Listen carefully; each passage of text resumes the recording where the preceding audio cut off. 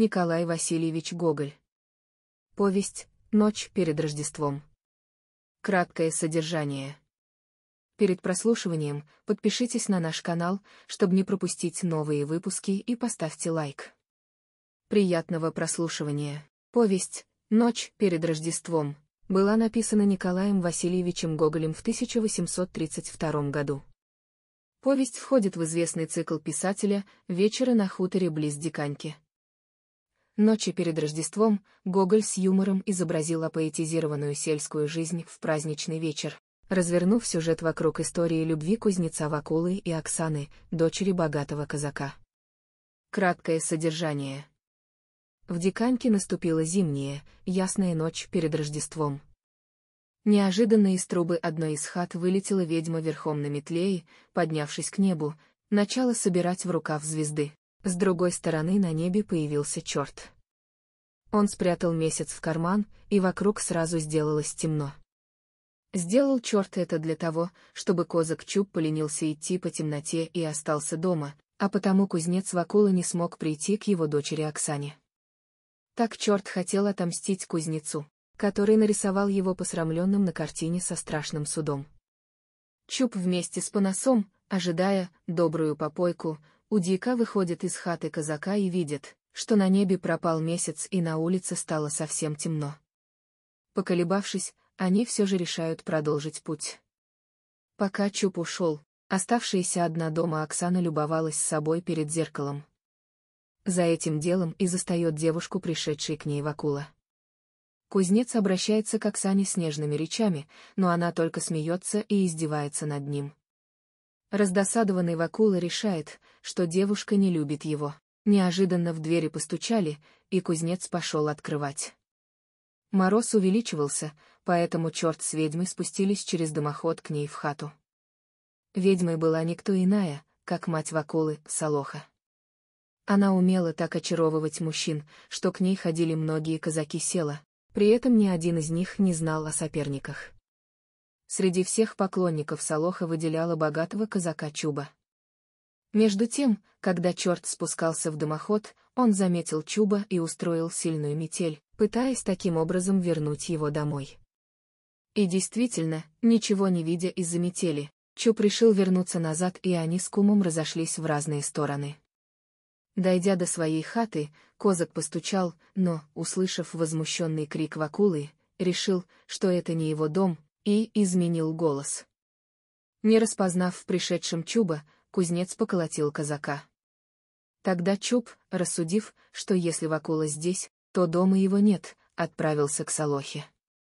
Пока черт летал из трубы и обратно, месяц вылетел из висевшей у него на боку ладунки и поднялся на небо все осветилось. Метели как не бывало. На улице показались толпы колядующих парубков и девушек с мешками. Девушки поспешили в дом Чуба. Оксана заметила у одной из девушек новые черевички и загрустила, что ей некому достать красивую обновку. Тогда Вакула сам вызвался достать такие черевички, какие редкая панночка носит. Шутя, Оксана сказала, что ей подойдут только те, которые носит сама царица, и если кузнец их раздобудет, то она выйдет за него замуж. К сидевшей с чертом Солохе неожиданно приходит дюжий голова. Пока женщина открывала двери, нечистый спрятался в мешке. Голова успел только выпить чарку водки и сказать, что из-за метели не попал к дьяку, как в двери снова постучали. Это был сам дьяк. Солоха спрятала голову во второй мешок. Однако и беседа женщины с дьяком была скоро прервана, к Солохе пришел козак Чуб. Хозяйка спрятала в третий мешок дьяка, а вскоре в этом же мешке оказался и Чуб, который не хотел видеться с пришедшим к матери Вакулой. Пока Солоха вышла к очередному посетителю, кузнец уносит все три мешка и, опечаленный издевательствами Оксаны, даже не замечает их тяжести. На улице Вакула встречает колядующих. Оксана, смеясь, снова повторяет свое условие при всех. Расстроенный Вакула бросил мешки на землю и, взяв с собой самый маленький, попрощался со всеми и убежал. Вакула решает пойти к местному знахарю, пузатому подсуку, он, говорят, знает всех чертей и все сделает, что захочет. Застав пацука за поеданием сначала галушек, а после вареников, которые сами летели в рот к хозяину, Вакула спрашивает у него, как найти черта, чтобы попросить у того помощи. На это знахарь ответил ему, тому не нужно далеко ходить, у кого черт за плечами. Испугавшись летящего ему в рот скоромного вареника, Вакула убегает от пацука. Услышав слова кузнеца, черт тут же выскочил из мешка и предложил заключить контракт, подписав его кровью.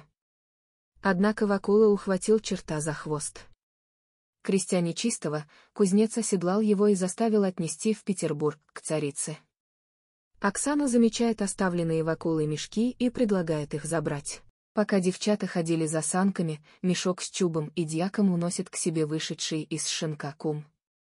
Во время ссоры Панаса с женой за содержимое мешка из него вылезли чуб и дьяк, объяснив, что решили так пошутить. Девушки отвезли оставшийся мешок к Оксане. В это время вернулся домой Чупи, обнаружив в мешке смущенного голову, был возмущен хитростью Солохи. Долетев до Петербурга, черт обернулся конем, а после повелению Вакулы уменьшился и спрятался к нему в карман. Кузнец находит знакомых запорожцев и с помощью нечистого получает согласие идти с ними к царице. Во дворце запорожцев Вакулу встретил Потемкин, а затем и сама царица. Когда Екатерина спросила у запорожцев, с какой просьбой они пришли к ней, кузнец тут же упал к ногам царицы, прося для своей жены такие же прекрасные черевички, как у нее. Екатерину развеселило его простодушие, и она приказала принести самые дорогие башмаки с золотом. Расхваливая ножки царицы, кузнец, подталкиваемый запорожцами, отошел назад и черт его мгновенно перенес уже за шлагбаум. По диканьке в это время уже пошли слухи, что Вакула то ли утонул, то ли повесился. Услышав об этом, Оксана очень расстроилась, ведь он любил ее, а теперь, возможно, навсегда ушел из села или вовсе пропал. Не появился Вакула и после обедни. Обратно кузнец добрался еще быстрее и, отвесив черту три удара хворостиной, отпустил его. Зайдя домой, Вакула тут же заснул и проспал до обедни. Проснувшись, кузнец взял с собой башмачки царицы для Оксаны и шапку и пояс для чуба и отправился к казаку. После согласия отца на сватовство смущенная девушка сказала, что готова выйти замуж за Вакулу и без черевичков. Женившись, кузнец размаливал всю свою хату, а в церкви изобразил черта в аду, такого гадкого, что все плевали, когда проходили мимо. И что в итоге? Вакула женился на Оксане, нарисовал на стене в церкви черта в аду. Оксана, после того, как Вакула вернулся из столицы и привез черевики от царицы, уже не скрывает своих чувств и соглашается выйти за него замуж. Черт, исполнив все, что от него требовал Вакула, получает три удара хворостиной и убегает. Заключение. В повести «Ночь перед Рождеством» Гоголь раскрывает тему народной жизни, изображая ряд типичных сельских персонажей ловкого и сильного кузнеца Вакулу, красивую и самовлюбленную Оксану, глупого и богатого Чуба, хитрую Солоху и других. Вводя в повествование мифических персонажей, ведьму, черта, знахаря, автор приближает сюжет произведения к сказочному, таким образом переплетая в повести приемы реализма и романтизма.